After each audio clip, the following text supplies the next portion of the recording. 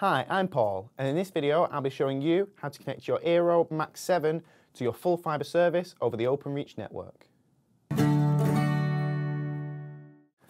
So the first thing we're going to do is open the Eero box, see what's inside, and then we'll walk through how to connect this to your full fibre service. So upon opening the box, you're greeted straight away with the Eero Max 7. We have the power leads just below, and then just underneath the power lead, we also have the Ethernet or RJ45 lead, which we'll use to connect our Eero to our ONT.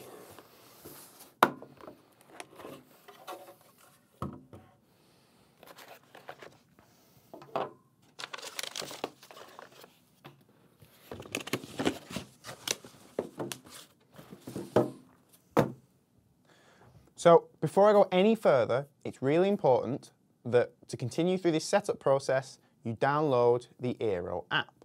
You'll find the app in the App Store, whether it's a Google App Store or Apple App Store, and it'll look like this. Once you've downloaded the app, don't go any further, and we'll continue with this setup. So now you've opened up the Eero app, you'll be greeted with the following screen. And what you want to do is select Start Setup. And here is a brief checklist to make sure you have everything in place before we can begin the setup. So the Eero gateway or gateway Eero, that is your router, your power lead, Ethernet lead, and then your fiber ONT. Now make sure that you're in the vicinity of your fiber ONT when we start this process as we will need to connect to it in the next step. So these next three screens talk about how to unplug any existing hardware and plug your Eero into the power, which we did at the start of this video. And then they also talk about how to connect your Eero up to the ONT. Rather than talk you through these, we'll jump back to the studio where I'll walk you through how to do that. If you have an OpenReach ONT, it might look something like this, or it may look like one of these.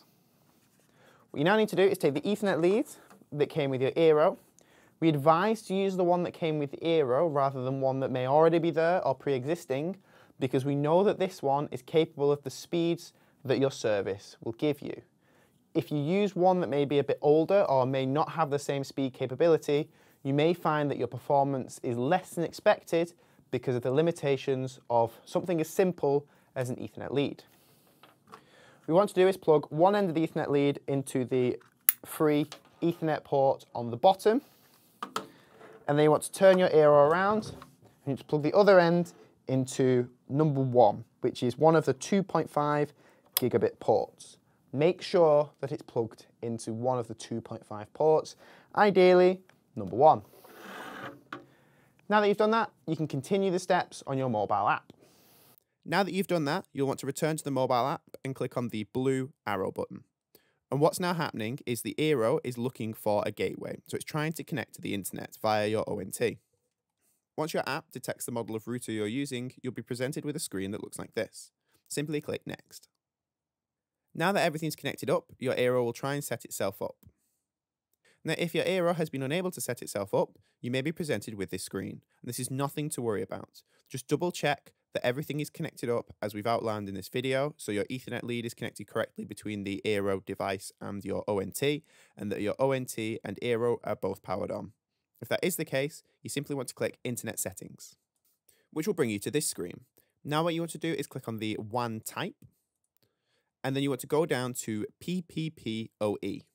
You'll now want to select PPPoE, and this box will open for you to enter in your Zen broadband username and password. Your username is your Zen some numbers at Zen. So for example, Zen12345 at Zen, all lowercase. And then your password will be the password that you were given when you first started your service. If you're unsure of where to find these details, you can find them from logging into your customer portal.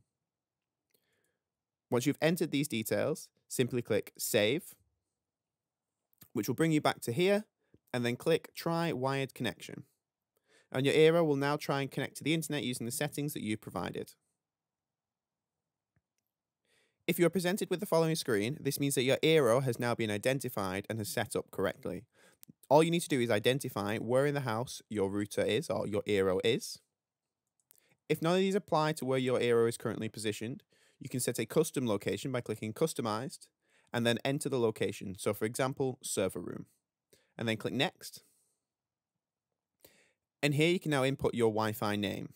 So whatever you want your Wi-Fi name to be and your Wi-Fi password, simply enter it in like so. Once you've entered your Wi-Fi name and password, make a note so you won't forget, and then create network.